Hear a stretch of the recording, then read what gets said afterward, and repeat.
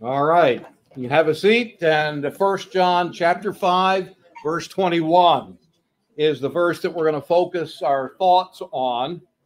Uh, notice it.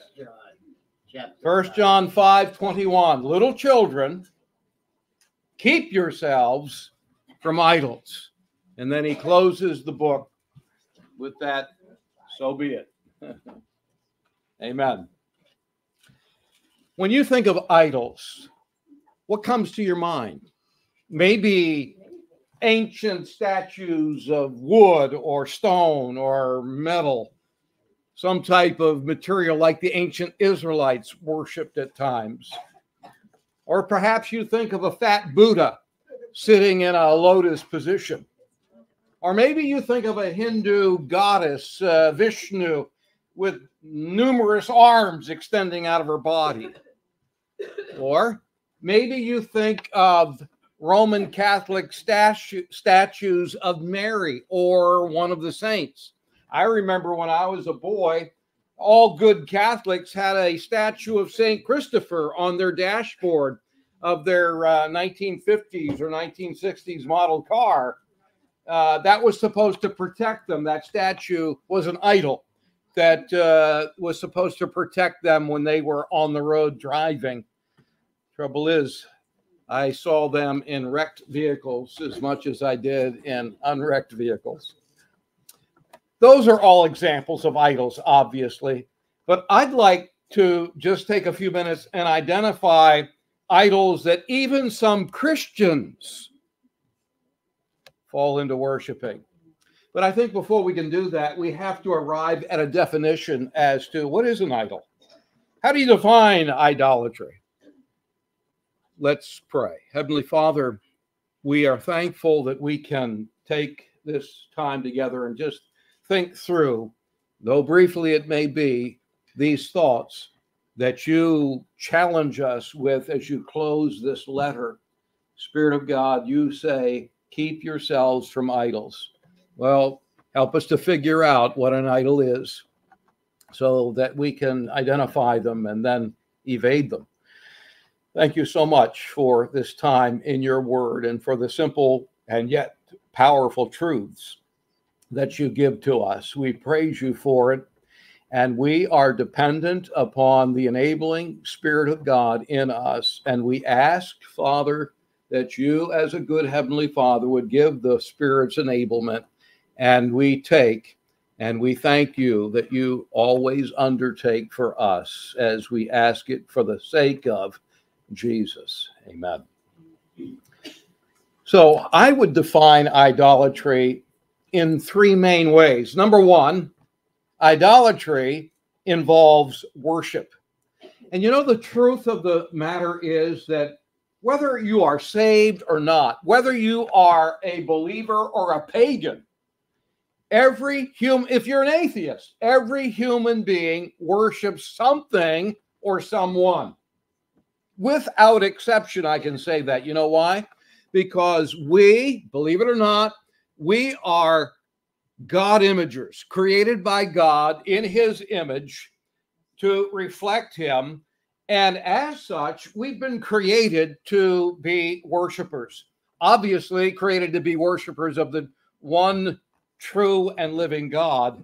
But if any human being, like Adam and Eve did in the Garden of Eden, choose themselves over God, then we will end up as individuals worshiping at the altar of self interest instead of at the feet of Jesus. You want to define idolatry. Number one, it's worship. Number two, it pertains to value. You worship what you value the most the things that are most important to you, the things that you want most in life, the things that you will do anything for in order to have them. What you choose to spend your time, your energy, and your ability and your possessions to pursue after or to achieve, that's what's of value to you.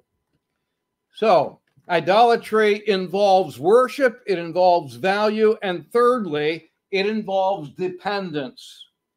what you worship, what you value the most, what you value what you value the most, what you look to, what you value the most is what you look to in order to meet whatever need you might have.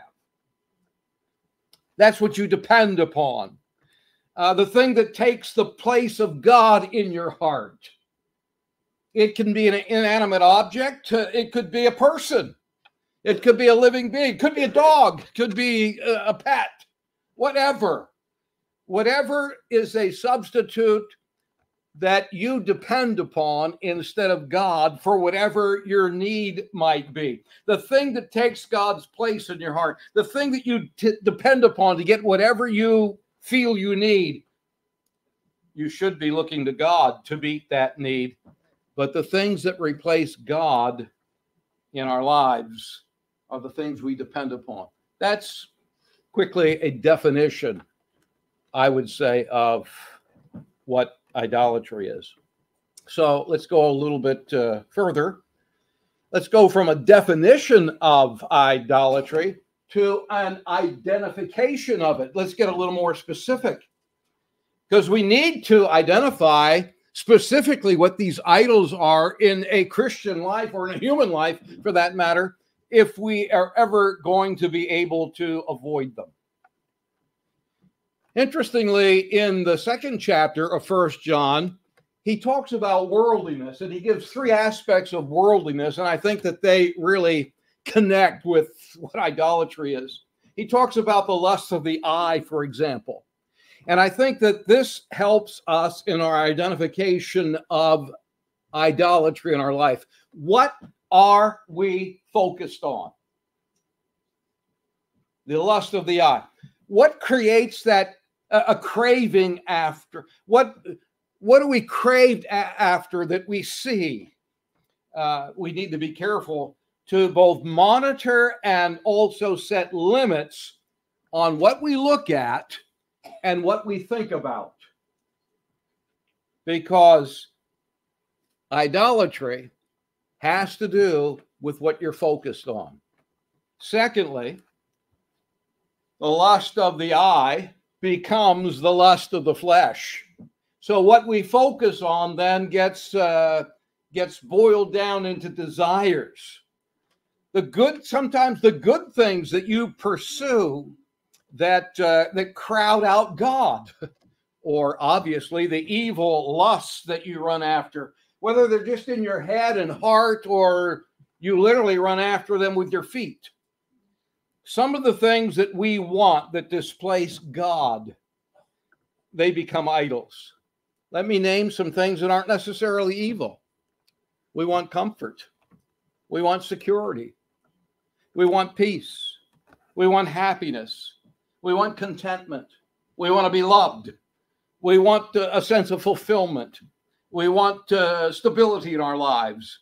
Um, we we want our felt needs, whatever they are, met. We want permanence. We want health. We want longevity. We want purpose and meaning in our lives. But do you know that all of those things, though they're not sinful in themselves, can become idols when we try to get them from anything or anyone other than God? So that means people can become idols in our lives. Families can be made idols. Good families can be made idols. Romantic relationships can become idols in our lives. Uh, work can become an idol. Uh, other activities, uh, athletic sports can become an idol, obviously. Um, recreation and uh, leisure can become a source of idolatry. Money, material things, cars and clothing and food. That's a big one, especially Haagen Dazs. that I'm just joking. We were just talking about how good that ice cream is. It's good ice cream. Good ice cream. I can't afford it, but it's good ice cream. Anyway, here's a here's a third thing that I think is connected with idolatry. Not only a focus is how we identify it, a focus desires, but thirdly, status, the pride of life, it's called in the context of worldliness. It's the prestige that comes with your achievement where you flaunt what you what you want and you got to wow others. Uh, it gives you a feeling of worth when you're able to impress other people with your trophies, whatever they might be. Status could be your vocation, your career, could be your education, could be your your uh, social status, could be ministry, even. Third and finally, I've had you turn to First John 5 21, and this is where I want to kind of quickly drill down in that, uh, that verse. Little children, keep yourselves from idols. Idols are all around us. There is a, a invasion that is being waged against your soul. And because of this idolatrous invasion, you ready for this? There has to be an evasion on our part. You have to evade that invasion. You have to avoid it. That's what he's saying here. Keep yourselves, evade this idolatry that is waging an invasion into your soul. Notice what he calls us there in that 21st verse little children. So the evasion of idolatry is a spiritual thing because we're God's spiritual children. We're his little children. You know, you're not like, if you're a believer, you're not like everyone else. You are especially different. You, you're, you're a member of God's family.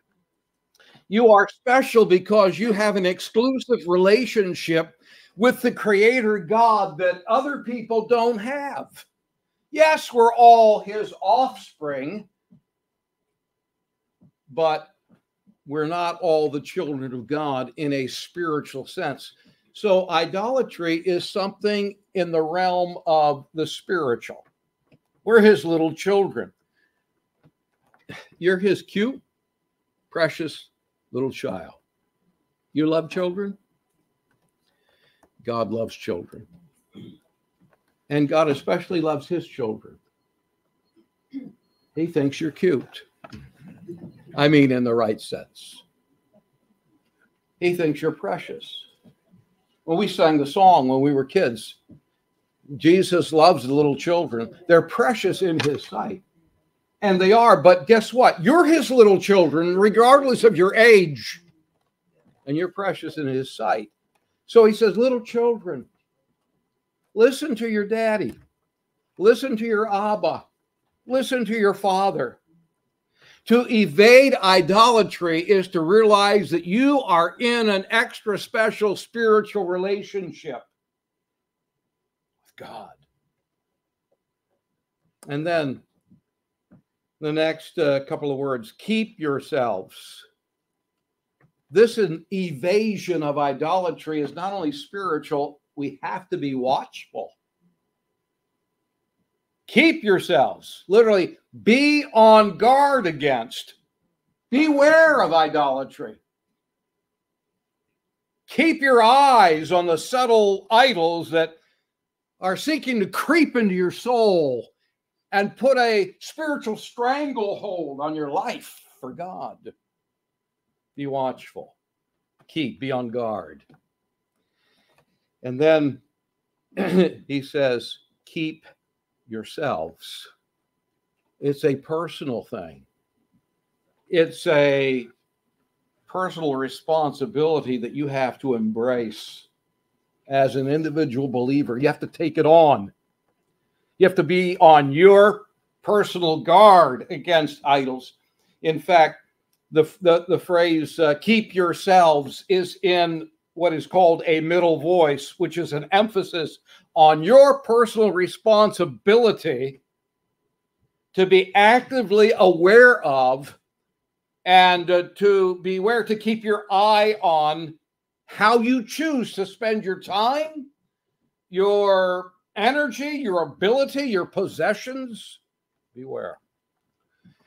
Not my words, but I'm going to read this to you. I changed this. This is someone wrote this about worldliness, and I'm changing the word worldliness to idolatry. Okay.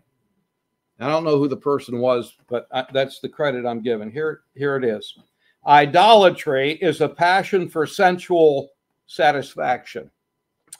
It's an inordinate desire for the finer things of life and the self satisfaction in who we are, what we have, and what we have done.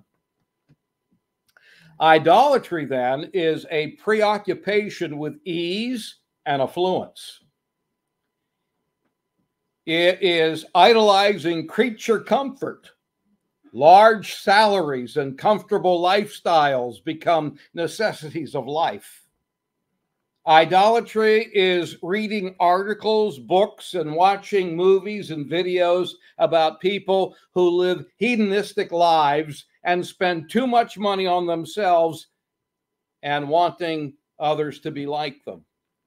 But more importantly, idolatry is simply pride and selfishness in disguises.